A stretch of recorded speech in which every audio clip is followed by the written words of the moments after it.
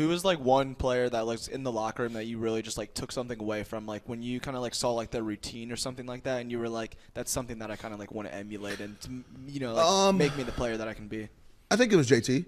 I think it was JT. I think Bra- that year, that 14 season, we won a championship.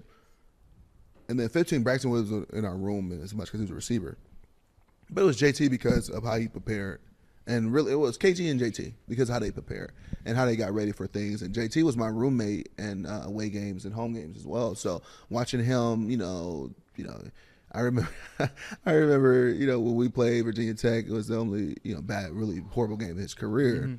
Um, he took a, like a shower before the game or something like that. He's like, "Oh, I've never taken a shower before a game again." like little things like that. So he developed a routine that really helped him get success. And one of the things is the way he studied and how he compartmentalized the game plan. So I took that away from him. And Kenny was the same way.